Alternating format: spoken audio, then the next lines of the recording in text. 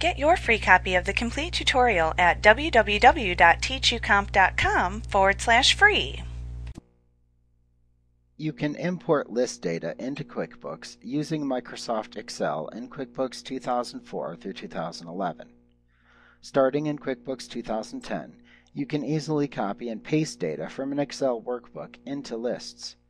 To see how you can perform this task, please review Lesson 3.15, Adding Multiple List Entries from Excel in 2010 through 2011 in the Introductory QuickBooks Manual.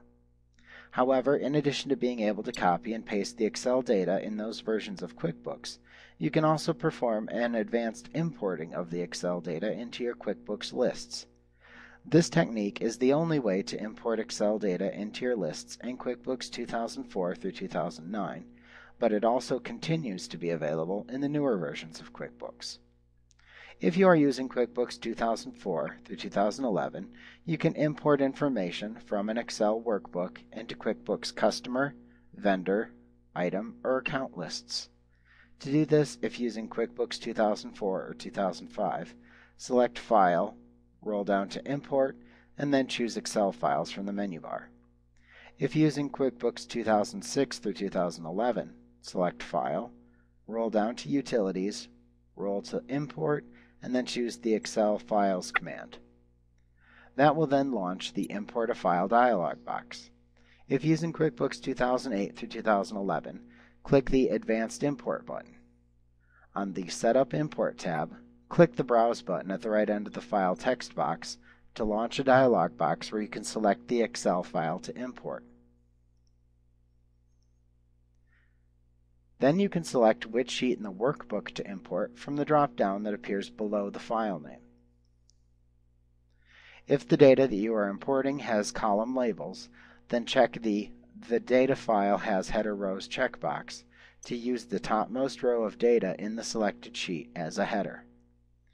In the Data Mapping section, you must then tell QuickBooks which columns in the Excel file should be imported into which fields in the QuickBooks file. Click the Add New choice from the Choose a Mapping dropdown to create a new data mapping for your Excel data. This will launch the Mappings dialog box.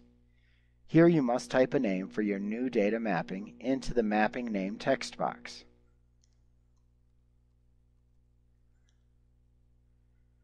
Then select into which list you want to import the data from the Import Type dropdown. When you do this, the available fields in that list will appear in the left column. For each piece of data that has a match within your Excel import file, click into the right column and select the name of the Excel column, if your list has headers, to which the data corresponds.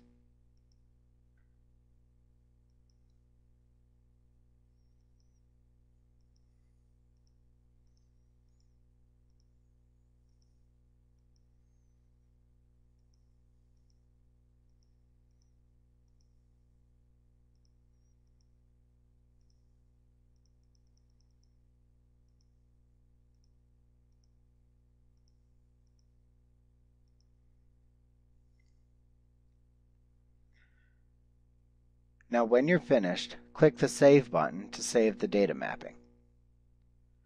To preview the data before importing, click the Preview button. This will show you the data as it would look when imported.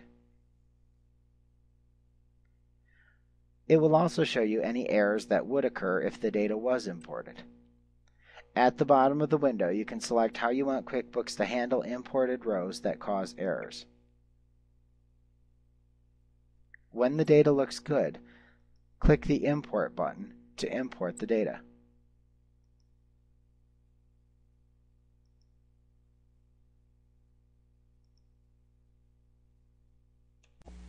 Like what you see? Pick up your free copy of the complete tutorial at www.teachucomp.com forward slash free.